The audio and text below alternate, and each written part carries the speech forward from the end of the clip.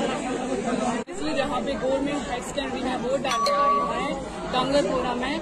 बस हम इसलिए वोट डाल रहे हैं ताकि हमारा जो जम्मू एंड कश्मीर है, हमारा गाँव है, यहाँ पे डेवलपमेंट हो जाए, हॉस्पिटल्स बने, रोड बने, स्कूल्स बने, जो भी लोग हैं, उनकी ज़रूरत पूरी हो।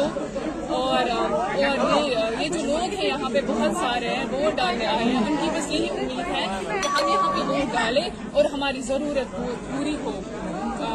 जो कांग्रेस था, कांग्रेस बहुत अच्छा काम कर रहा है यहाँ पे। बस मैं चाहती हूँ हमेशा कांग्रेस की हुकूमत रहे यहाँ पे जम्मू एंड कश्मीर